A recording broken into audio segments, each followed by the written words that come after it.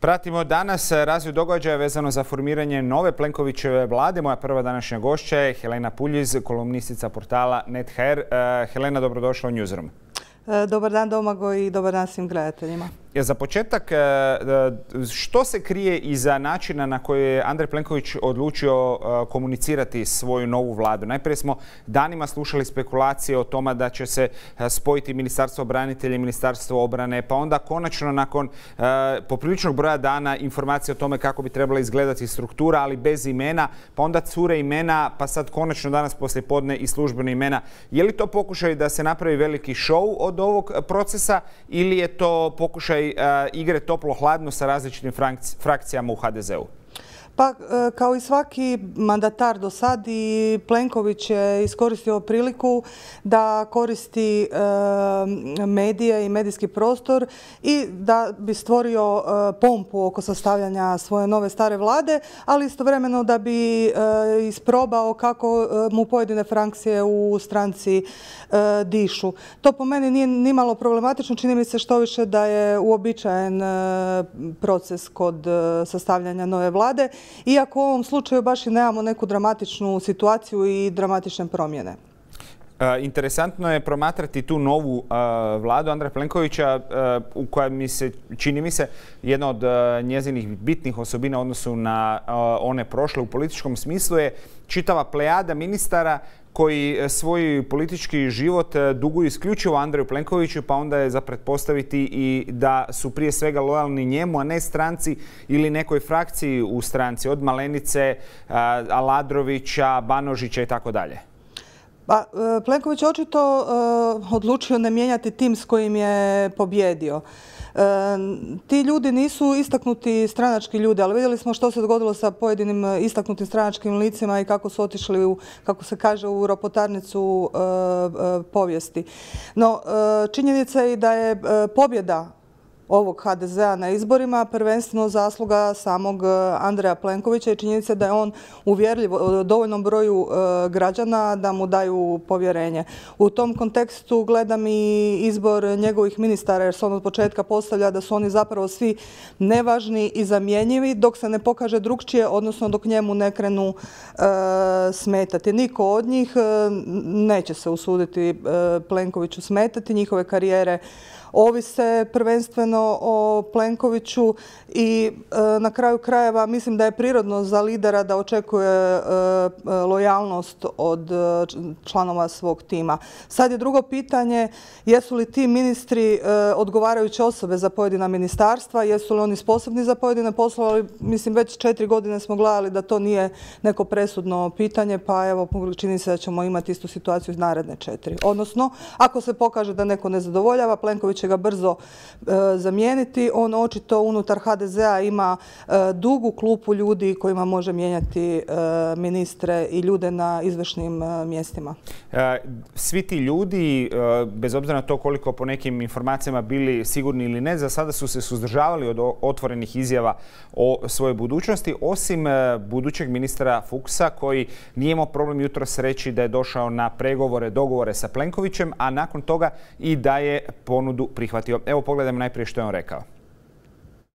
Prihvatio sam biti novi ministar e, i, i to je sve što vam mogu reći. Koji je plan obrazovanja, na šta ćete se e, skoncentrirati najviše? Sad u prvom redu organizacija nastave na jesen. To je apsolutni prioritet e, da vidimo da učenici mogu ovaj, po svim pravilima struke i epidemiološkim naravno ovaj, se vratiti u učionice ako je to sve ikako moguće, ali to ćemo vidjeti naravno što će biti e, i to je prva stvar koju treba napraviti. A onda ćemo sve ostalo. Molim? Ako ne nastavlja se online nastava, jeste li zadovoljni kako je to izgledalo sada u ovom prvom e, Pogledajte, online nastava u onom trenutku kako je bila složena i napravljena je bila, ja mislim, jedino i najbolje moguće što je moglo biti tada napravljeno. E, ja sam uvijek prisješa toga da stvari uvijek mogu biti bolje, prema tome može se to i unaprijediti. Ali ako nema druge mogućnosti, onda će biti online nastava, ali pokušat ćemo učiniti apsolutno sve u suradnji sa svim dionicima, dakle, uključiti i lokalne vlasti, odnosno uprave i samouprave, jednako tako i agencije, ali u prvom redu i epidemiologe, da se posloži stvar kako bi nastava mogla krenuti u učionicama. O čemu ste razgovarali s premijerom? Što on očekuje od vas? Pa otprilike ovo. Što sam vam rekao? Molim? Kako ocjenjujete rad eh, svoje prethodnice? Pa gledajte, to me masu puta pitaju. Ja sam isto tako puno puta rekao, ni jedan ministar ne dolazi na mjesto ministra zato da bi nešto namjerno pokvario ili unazadio. Uh, uglavnom radi onako kako kako misli da uh, najbolje radi. I ja mislim da se na tome možemo zaustaviti.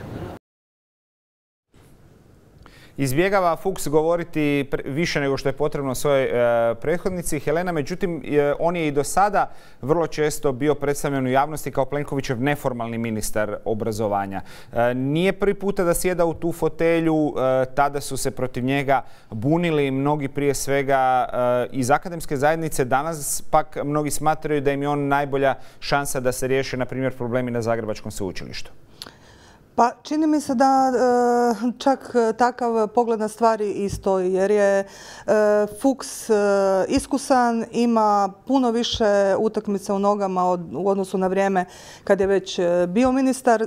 Upućen je u sustav obrazovanja i njegovo funkcioniranje kroz ovu korona krizu jer je bio i savjetnik premijera dosta dugo pa je onda kao otišao pa onda nije, jel?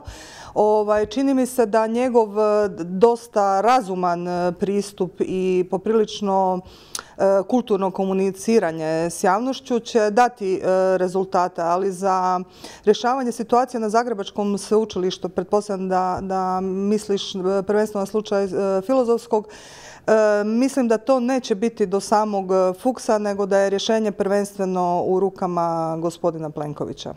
Biće vrlo zanimljivo promatrati i slažem se upravo taj odnos jer e, ne treba zaboraviti da je e, doduše tek sada kada je krenulo kampanju donedavna ministrica, odnosno još uvijek aktualna ministrica Divjak ponavljala kako su je stopirani zakoni kojima je željela uvesti reda u visoko obrazovanje i prsti upirala upravo u zagrebačkog rektora Borasa. S druge strane, Fuchs u vrijeme kada je prošli put bio ministar upravo je nastojao nešto na tome tragu napraviti i vidjet ćemo kako će izgledati njegovi prvi potezi. S druge strane, interesantno je možda promatrati i nove ljude koji se pojavljuju u križaljci Andreja Plenkovića. Mi smo danas prvi puta uspjeli snimiti pred zgradom vlade gospođu e, Tramišak koja će preuzeti, kako sada stvari stoji po informacijama koje imamo, Ministarstvo europskih fondova regionalnog razvoja, ali to što smo uspjeli snimiti doslovno je samo da je upoznamo. Kako su prošli razgovori s premijerom? Mislim da su... Ne morate nam ništa potvrditi, nego samo reći kako su prošli razgovori. Hvala vam, bit će prilike. A očinite fokus neki za budući rad? Sve ćemo razgovarati. Hvala vam. Dobro. Gospođa Tramišak, dakle, trebala bi preuzeti Ministarstvo europskih fondova, a na to mjesto, navodno, e, pokušala je e, ugurati se i gospođa Brnjac. Kako doživljavaš e, ta rivalstva unutar HDZ-a? Župan Osječko-Baranski nije krio u pojedinim trenucima otvoreno da on zahtjeva da se adekvatno valorizira njegov uspjeh, odnosno uspjeh HDZ-a pod njegovim vodstvom u Slavoniji i u, u sastavu same vlade. Mislim, ako je gospođa Tramišak sposobna za dužnost ministrice za europske fondove i regionalni razvoj, onda e, nema nikakvog problema da se ispuni Anušićev zahtjev. Na kraju krajeva on je u pravu kad kaže kad je riječ o unutar stranačkom rasporedu snaga, on je u pravu kad kaže da zaslužuje imati e, barem jednu ministricu ili ministra koja dolazi u njegovo ime e, u tu vladu. Ovo govorimo o realnom političkom stanju, ne o idealima kako bi stvari trebale biti, kako bi se trebali ministri e, imenovati. Problem će biti naravno ako gospođa iza koje je Janušić stao ne bude sposobna za posao koji joj pripada. Ona je nepoznata širok široj javnosti. Nadam se da ćemo imati priliku upoznati. Čini se e, skromna. E, prvi ovaj dojam je da nije e, bahata, što je dosta važno kad je riječ o ministrima Plenkovićeve vlade. I valja joj dati šansu, kao i svakom novom. S druge strane, gospođa Brnjac, e, ona se selila iz Ministarstva prometa već i u Ministarstvo vanjskih poslova. Spekuliralo se tamo da će preuzeti neke velike, iznimno zahtjevne e, zadaće. U konačnici je završila e, kao osoba zadužena za komunikaciju sa Europskim parlamentom, a sada se spekulira da joj ni Ministarstvo turizma nije dovoljno dobro, nego da bi htjela upravo na mjesto gospođe Tramišak. Pa osobne ambicije njezine su očito e, jako velike. Meni je apsurdno postojanje samo tog ministarstva koje će ona voditi za turizam i sport. Ne razumijem zašto, turizam e, nije sastavni dio sektora gospodarstva. E, sport je također mogao ostati u sustavu obrazovanja. Dakle, e, po meni je to posve nepotrebno ministarstvo, a sad njene osobne ambicije vidjet ćemo kako će se odvijati. Pritom ne znam što je kvalificira za sektor turizma i sporta, jer se takvim stvarima do sad uopće nije bavila. Dobro, isto pitanje se možda moglo postaviti i kada je prešlo ministarstvo vanjskih poslova. Pa, moglo je, ali evo ona sad e, avansira ipak na dužnost e, ministrice, što je ipak puno važnija ovaj, funkcija. Pa, mislim, skeptična sam, ali za sve nove, budući da imamo neke stare koje uopće nisu zaslužili, po mom mišljenju, više biti ministri da su jer su kompromitirani. E, ne vidim razloga da sada gazimo nepoznatu osobu koju još nismo vidjeli na dužnosti izvršnoj ministarskoj, pa da je unaprijed osudimo na propast. Mislim da svakom novom trebamo dati jednaku šansu kao što smo davali svima. tko od e, onih koji ostaju onda po tvom mišljenju ne bi trebao ostati? Pa prvenstveno e, gospodin e, Horvat koji sad dobiva u ruke zapravo i najveći budžet. Znamo li da će se obnavljati Zagreb milijardama kuna. E, on dobiva ministarstvo, e, ministarstvo e, graditeljstva i državne imovine. Mi još uvijek ne znamo kompletan popis imovine. On je ministar koji uopće nije radio transparentno. Njegova sva politička karijera počiva na podiloženju šefovima. To kako on podilazio Plenkoviću je bilo nevjerojatno na trenutke ovaj, u prošlom mandatu kad ga je uspoređivao i sa genijalnošću liderstva gospođe Angele Merkel. Mislim da je opasno da e, netko koji je prepoznat kao netransparentan ministar ima u rukama toliki novac i e, naprosto moje nepovjerenje prema njegovom transparentnom trošenju novca je e, golemo. Mislim da pouzdanik gospodina Plenkovića, gospodin Čorić, također da je kompromitiran sa slučajem INA, a neki tragovi slučaja Rimac također vode do njega. Evo, njih dvojicu bi istaknula kao one koji će igrati važnu ulogu u novoj vladi, a zapravo nisu e, ostavili e, dobar dojam. Međutim, taj dojam kakav oni ostavljaju na širu javnost je zapravo nevažan ako uživaju povjerenje premijera, očito. E, kad smo već kod Horvata, možda da podsjetimo i gledatelje da je on e, bio i tekako e, cijenjen kadar HDZ-a u vrijeme Tomislava Karamarka, čovjek za kojeg se očekivalo da će vedriti i oblačiti energetikom i to je pokušavao i raditi na neki način po svjedočenju tadašnjeg službenog ministra zaduženog za energetiku u onoj vladi Tima Oreškovića, govori govorim e, o Mostovom ministru Paneniću. E, međutim, preživio je Horvat i odlazak Karamarka, a vidimo preživio je i cijeli jedan mandat. Da, preživio je i još je u ovom mutnom razdoblju nabavljao zaštitnu opremu za Republiku Hrvatsku, za bolnice maske i rukavice, pa je sve rađeno ispod stola sa e, nečacima članice HDZ-a. Očekujem da će, da, mislim, naravno, opozicija će morati puno toga napraviti, ali očekujem da novac koji će iz tog ministarstva odlaziti na obnovu Zagreba i e, imovina koju će on e, moći rasprodavati morat će biti pod puno većom kontrolom nego što je do sada bilo Ministarstvo e, graditeljstva. I mislim da se tu nalazimo u poprilično opasnoj situaciji gdje bi puno novaca moglo završiti ponovno u privatnim džepovima mimo javnih natječaja i svih zakona. E, samo da kažemo i gledateljima, premijer Plenković stigao iz zgradu e, Vestina, međutim bez izjava e, za sada. Očito, kasni najmanje 20 minuta po rasporedu koji sam sebi zadao. Helena, da i to prokomentiramo. Premijer je došao na nekoliko sati iz Brisela, vraća se nakon toga u Brisel. Za sutra je zakazana vlada. Postoji li mogućnost da i sutra gledamo to vozikanje Zagreb, Brisel, Zagreb, Brisel? Koliko je ono nužno, koliko je ono odgovorno i jesu li se ove stvari mogle riješiti i na drugi način? A čujte, očito on želi imati sve pod kontrolom i e, s obzirom na napetu situaciju i kompliciranu u Briselu i da se ne nazire još, nažalost, e, dogovor, e, očekivano je da ide gore dolje. Jer očito on ipak koliko god ima oko sebe lojalne ljude, nema ljude na koje može sigurno računati da mogu obaviti posao bez njega. Vjerojatno ćemo gledati i telefonsku sjednicu vlade. Po meni njegov trošak za odlazak u Brisel kad se odlučuje o raspodjeli e, budućeg novca, odnosno zaduženja Europske unije, e, nije problematičan koliko je recimo bio problematičan odlazak u Helsinki zbog stranačkih razloga. Znači pitanje je isto tako zbog čega on tako putuje. Ovdje su mi se čine razlozi opravdani, ne bi se je pidlačila oko toga baš, ali u svim drugim slučajevima da. Kad smo već kod ljudi koji su politički vezani isključivo uz Andreja Plenkovića, bliski su mu, jedan čovjek danas je snimljen na jednom od posljednjih ulazaka u vladu Republike Hrvatske kao ministar. Gospodine Pavić, vraćate se u Sabor, je li tako? To je sve dogovoreno. Predsjednik će sve reći. Hvala. Koliko je, Helena, ovo tipična komunikacija ministra Pavića sa javnošću Hrvatske? Pa zapravo i je, tako ga gledamo cijelo vrijeme. Eventualno nekad kad bi imao nešto za reći bio bi naprosto, doduše bio je bahati, sad se čini skromniji i čini se kao da osjeća da je pretrpio e, nekakav poraz. Je malo ovaj popustio, ali to je Pavić kakav je Pavić i očito i dalje računa na dobre stranačke sinekure i dalje se drži kao bogom dan. E, još jedna zanimljiva osoba zadnjih dana, nekoliko puta viđena na Markovom trgu. Riječ je o Božidaru Kalmeti, e, čovjeku kojeg je HDZ stavio u devetu izbornu jedinicu na zadnje mjesto. Preferencijalno je dobio najviše glasova.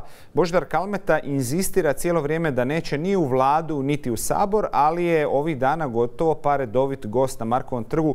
Mnogi zbog toga spekuliraju kako bi neki drugi ljudi od Kalmetinog povjerenja mogli uh, odjednom uh, isplivati na neke od važnijih pozicija u državnom aparatu. Evo što je danas rekao. Imali ste jako puno preferencijalnih glasova, pa bi čovjek pomislio da imate neke veće ne, apetite. Ne, ne, pa ja sam rekao prije, meni je interes da e, nekoliko, ljudi iz Zadarske županije dođu u Zagreb kako bi mogli ovaj, naravno raditi, kako bi se mogli e, boriti dolje za interese te županije pa i cijela izborna jedinica, ako hoćete, pa onda u konačnici naravno i Hrvatska, a ja osobno nemam nikakve ambicije. Što razlog to što nećete imati neku istaknutu poziciju, uh, pa to što se vas, znate da vas i dalje stavlja u kontekst uh, korupcije, evo tako ću reći. Ma ne, ne, ma, čujte, kad se nema šta reći, onda se govori to, jeli, u nekim slučajevima. Ali, ovaj, šta ću, ja sam bio 8 godina ministar, ja sam bio 15 godina gradonačelnik, ja sam bio saborski zastupnik. Ovaj, ovaj, moja uloga je sad druga to vrijeme dakle tih mojih e, političkih funkcija iza mene. E, tako da nikakva ambicija, rekao sam, nemam, ni ću imati. Pomoći stranci da, da stranka jača, da stranka bude jaka, da stranka bude pobjeđuje. Koliki tu udio mogu dati, to hoću, ali sa mene tiče osobno. Koja je to druga uloga? Kažete koja? Pa možda sam, ne znam, sam rekao, evo to, dakle, da stranka jača, što ja mogu pridonijeti za ovaj dolje dio za koji sam bio dosta zadužen, da bude stranka dobra, kvalitetna, da dobija puno glasova, kao što je bilo i sad na ovim izborima. To je moja funkcija, a ovo drugo je sve iza mene već. Helena kaže Kalmeta, kad se nema što drugo reći, onda se govori o korupciji. Pa o njegovim e, slučajevima je za, za kojega se sumnjičilo. Ali činjenica je da on e, je kroz sve to prošao neokrznut zapravo, e, da ga i građani i dalje vole i dalje biraju. Niko u Zadru ne može ni do koljena doći Božidaru Kalmeti, a korupcija i korumpiranost hrvatskim građanima, većini hrvatskih građana uopće ne znači nikakav problem. Što više već su se dobro u, priviknuli na to. Svako traži kako da se unutar tog sustava koji je uspostavljen za sebe nađe interes. Tako da ja više stvarno ne vidim e, problem e, u, samom Kalmeti. On može biti što god hoće i kad hoće, ali recimo evo baš njegov dolazak i Anušićevi način na koji oni dogovaraju funkcije za svoje ljude pokazuje kako zapravo stvari stoje i da se zapravo e, sve dogovara ispod stola, a ne po sistemu tko je za što najbolji, nego nego da se zadovolje pojedini interesi pojedinih grupacija. Logično, kako idu lokalni izbori, a Kalmeta očito voli biti pobjednik, on želi osigurati svoje ljude na njemu važnim mjestima, što da bi se mogli razvijati njegovi poslovi, odnosno poslovi njegovih kompanjona, što da bi mogao postići što bolji rezultat i zadržati pozicije u Zadru i Zadarskoj županiji. Dakle, iz perspektive jednog političara Kalmata se ponaša logično. Ali da, mi imamo problem e, što e, čak ni ljudi za koje se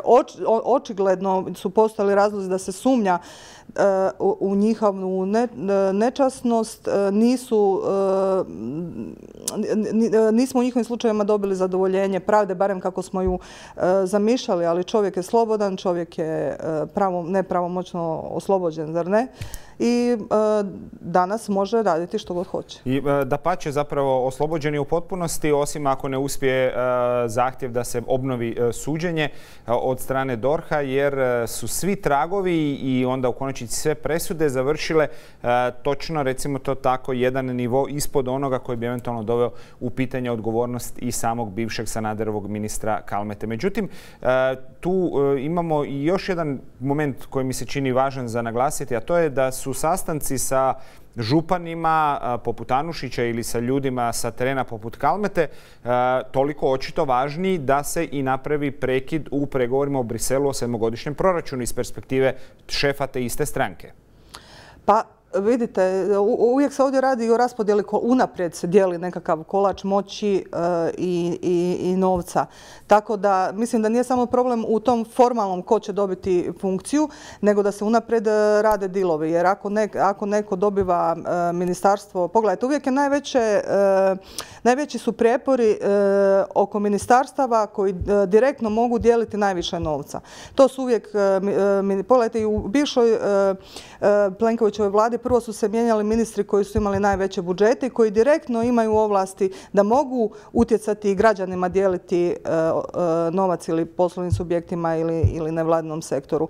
Tako da e, tko će danas imati Ministarstvo regionalnog razvoja, odnosno europskih fondova, je jako važno iz raspodjele kolača. Znači cijelo vrijeme se radi zapravo o podjeli novca i, moći, tako da ne vidim ja nikakvo čudo u tome što Plenković odlazi i dolazi. On ipak unatoč e, velikoj pobjedi e, nema više od pet ljudi za koje može reći eh, na njih se mogu osloniti. A u ovoj situaciji kad se sastavlja vlada, pet ljudi nije dovoljno. I kad se sastavlja i parlamentarna većina i dijele pozicije i u Saboru, što nije nevažno. Kad smo već kod većine u Saboru, pogledajte kako je Veljko Kajtazi pričao o tome kako su u Saboru unutar vladajuće većine, odnosno unutar ovom slučaju kvote manjskih zastupnika dijeljene funkcije.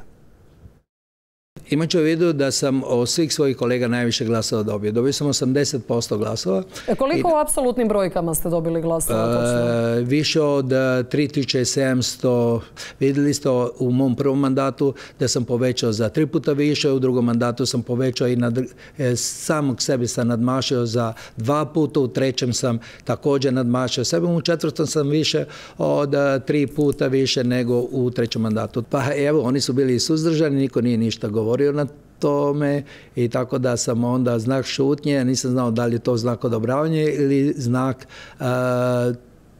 ne dati povjerenje. A dobro, koji su argumenti bili da bi Furio Radin pa ponovno trebao biti potpredsjednik Sabora u drugom mandatu? Nije bilo, nije bilo nikakvih argumenata, nije bilo nikakvih argumenata, a inače ovaj, to je prijedlog e, bilo e, pojedinih i tako da smo se na kraju ovaj, složili, iako sam ja bio suzdržan, e, nisam htio po tome ništa razvijati priču i tako dalje. Ali moje osobno mišljenje i dalje mislim da, da bi bilo jako dobro da pripadnici romske zajednice imaju potpredsjednika Sabora. Kaže, dakle, Veljko Kajtazi, ja smatram da bi Romi trebali dobiti mjesto potpredsjednika, s druge strane šutnja, pa se glasa, pa je on suzdržan, argumenta nema. Pa naravno da ih nema kad se sve radi ispod stola prije i po restoranima, kafićima, ovaj, u, zatvorenim kružocima i sve se unaprijed e, dogovori. Mislim da bi baš bilo dobro da romska zajednica e, ima potpredsjednika Sabora, ali na to mjesto će doći iskusni Furio Radin, koji je naprosto ga se ne može maknuti iz Sabora. On je koristan vladajućima jer će im biti gromobran spram ljutih desničara iz opcije domovinskog pokreta a e, gospodin Kajtazi e, mora očito još malo učiti o procedurama i, dogovorima.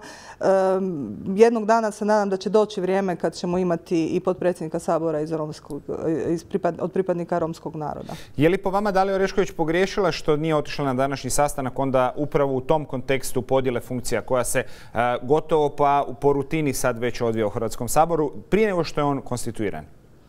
Pa ne, ona je to učinila kao svoj principijalni politički potez i to je u skladu sa njenom, svim njenim dosadašnjim e, potezima u političkoj karijeri. Naravno, možemo sad reći da se e, da zavlači oko formalnosti, ali zapravo kad se pročita, odnosno čuje sve što je ona rekla o tome, vidi se da u tome i tekako postoji i logika i argumenti. Ona naprosto ne želi, a tu je, to je opet se vraćamo na ovu priču koju smo imali kod vlada, ona ne želi da se u interesnim dilovima, e, odnosno dogovorima E, dijele mjesta, nego da se mjesta dijele po smislu i, po, onome što nam treba biti rezultat na kraju. E, ako je neko predsjednik, ne znam, e, odbora za Ustav i poslovnik, tamo naprosto mora biti, moraju biti ili, ili članovi odbora za Ustav i poslovnik, tamo trebaju najbolji pravnici biti.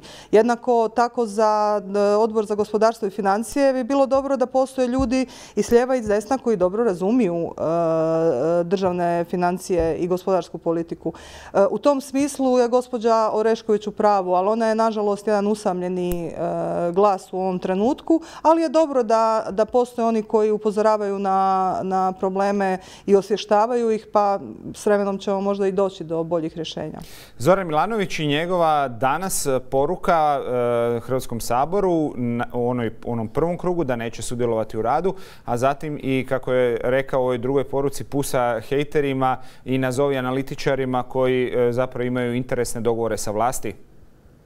Pa ovako, e, meni još u sinoć kad sam vidjela to, mi je bio potpuno logičan e, Milanovićev potez jer je on potpuno u skladu sa svim što on dosad govorio o poziciji predsjednika. I mislim da bi ovi u Saboru trebali mu biti zahvalni što on e, biva zapravo najveći zagovornik u ovom trenutku e, jačanja parlamentarizma u, Hrvatskoj.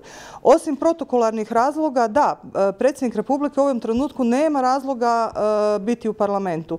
Čini mi se da će Milanović do kraja pokazati koliki je besmisao predsjedničke funkcije kakvu mi danas imamo Ovaj, i da će, da će ići da se na koncu, da, da mandat završi tako da će Hrvatska svog e, predsjednika Republike u buduće birati u parlamentu, što bi nam uštedjelo i dosta novca. I na kraju krajeva e, e, Milanović time pokazuje i da želi, osim što želi bolji parlament, jačanje parlamentarizma, on želi u tom smislu i stabilniji parlamentarizam.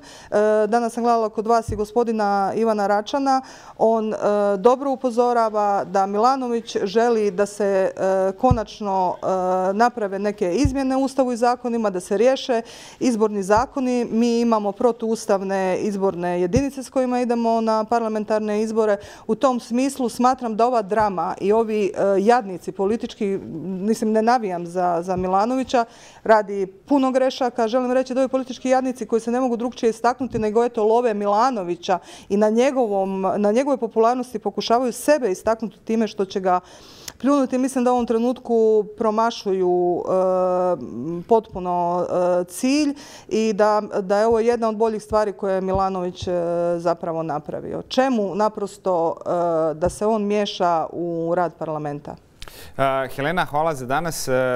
Brzo nas sada već sustižu događaje i uskoro ćemo, vjerujem, ponovno biti u prilici analizirati ono što se događa na početku ovog desetog saziva Hrvatskog sabora. Hvala na gostovanju. Hvala vama.